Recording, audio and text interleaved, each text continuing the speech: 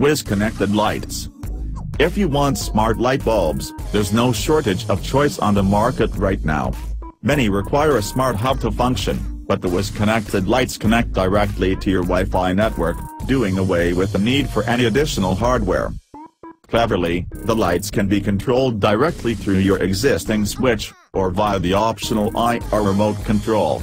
As a result, these bulbs proved more flexible than Wi-Fi models such as the TP-Link Smart Wi-Fi LED bulb. Wiz has built the intelligence to control its lights into the bulbs themselves. Integrated Wi-Fi means Wiz's bulbs are slightly larger and heavier than traditional bulbs and Philips Hue models, which use the low-power ZigBee protocol. Although you shouldn't have a problem installing the bulbs into light fittings in general, be careful if you plan to use the Wiz bulbs and desk clamps. the extra weight could unbalance them. Wiz light bulbs need to be turned on to enlist their smart features. As such, and like other smart bulbs, they're not compatible with dimmer sockets. They'll need traditional on-off switches instead.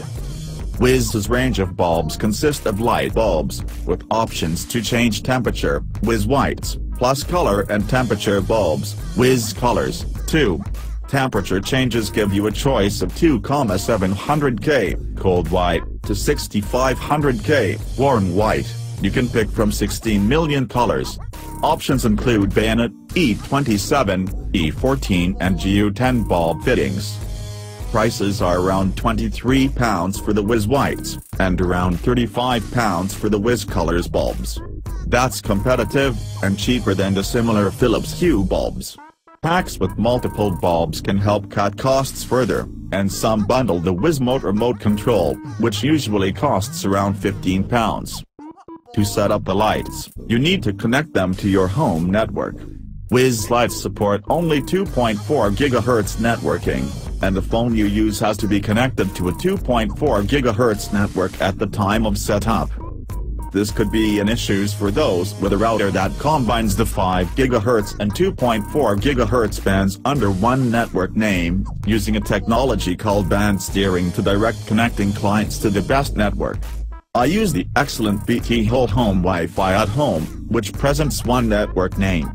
My phone automatically connected to the 5 GHz band, and I can't downgrade it to a 2.4 GHz connection. As a result, there was no way for me to hook up my bulbs to this network. Wiz confirmed that its bulbs will work with networks that use band steering, but that the controlling device had to be connected to a 2.4 GHz network.